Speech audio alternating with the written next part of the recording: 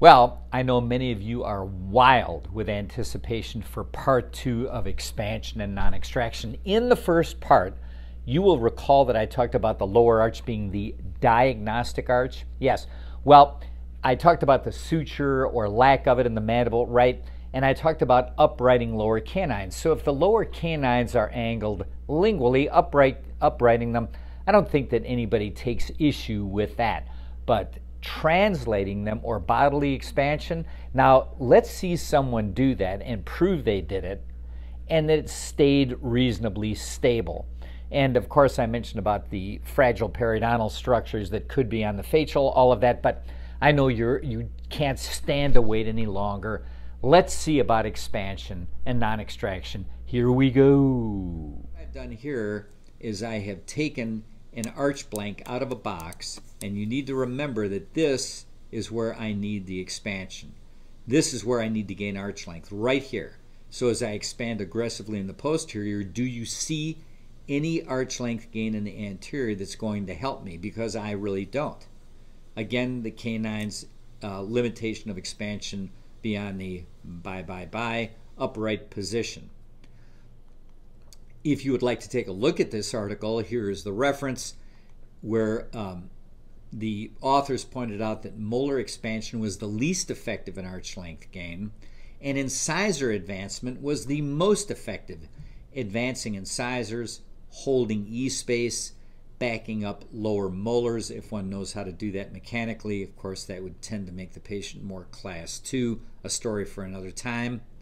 In fact, incisor advancement was four times better than expansion in gaining arch length and it would take five millimeters of expansion in the posterior to gain less than two millimeters in the anterior region.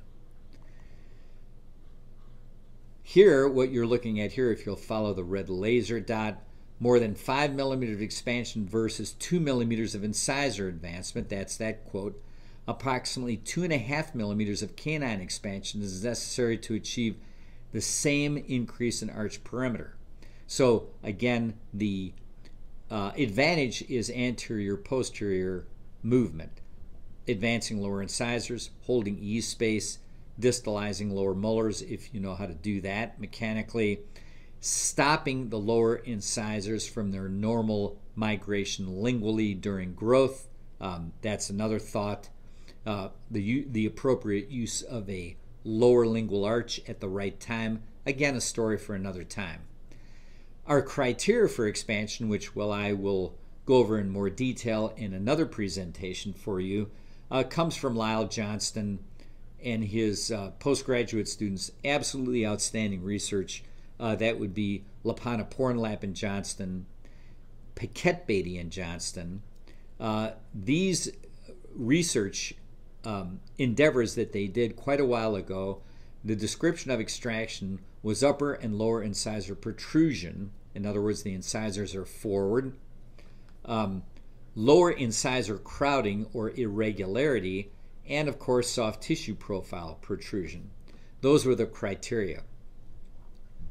Many of us have been highly influenced by Lyle Johnston's outstanding clinical research, and this is one of Professor Johnston's sayings. What can be achieved is limited by the choice of treatment.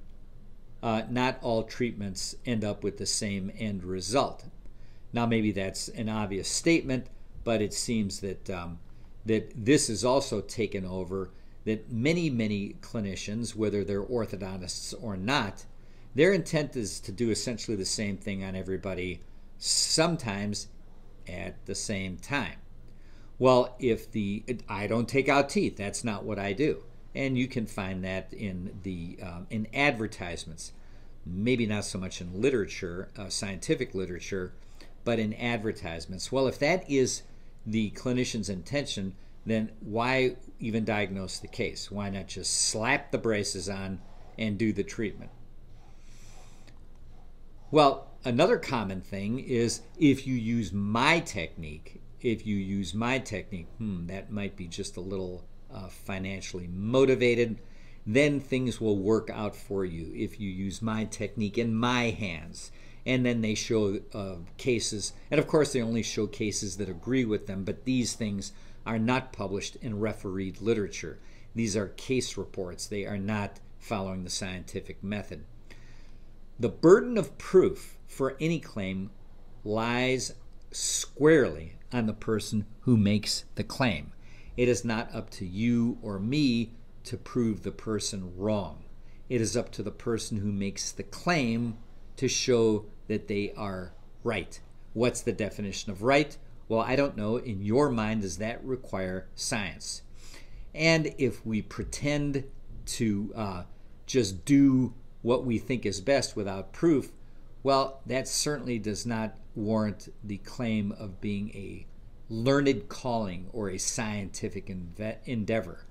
Publishing and refereed literature, that should be our gold standard. I'm fine with people saying it's their opinion, but let's not state opinions as though they're facts.